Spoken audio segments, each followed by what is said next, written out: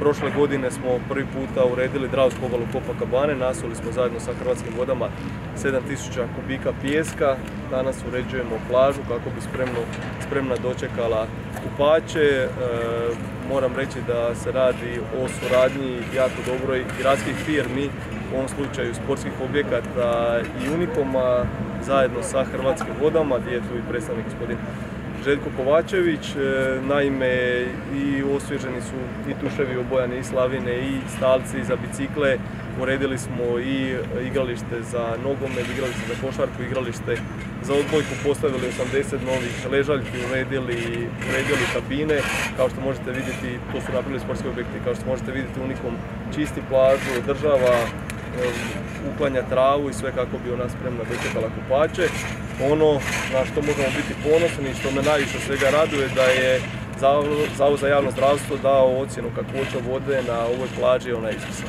Dravsko obale Kabane se neće naplaćivati, na bazene će se, kao što smo i već rekli, naplaćivati. Mislim da u okolici neće biti jeftinije ulaznice na, na bazene. Za djecu od 0 do 7 godina će biti besplatno do 15 godina, od 7 do 15 godina će biti 10 kuna kao za invalide i umirovljenike.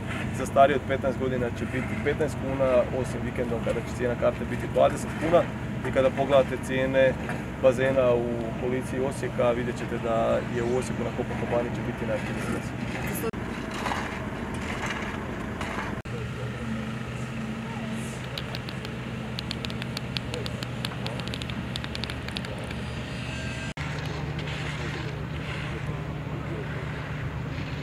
Nem,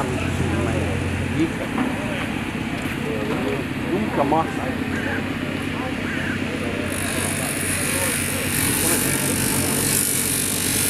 Você puxar.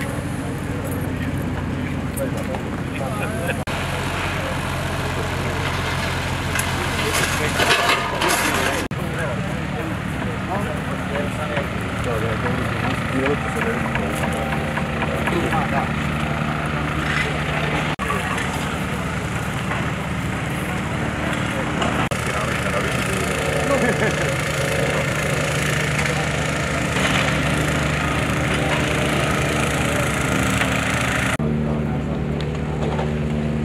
To sve potaša.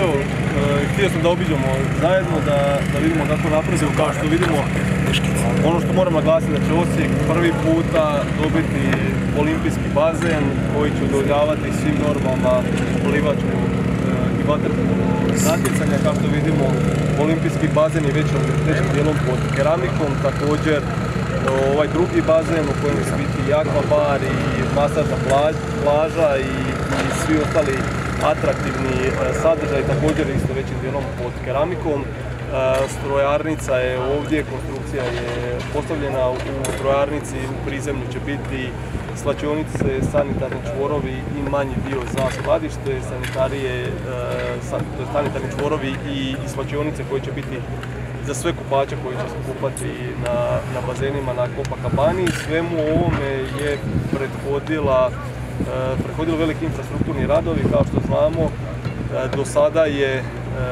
voda iz bazena išla neprerađena u dravu, sada će ona biti neutralizirana kao takva pročišćena će ići, odnosno neutralizirana u dravu, te fekalna voda do sada išla u septičku jamu sada više neće ići u septičku jamu, nego će ići na kanalizaciju.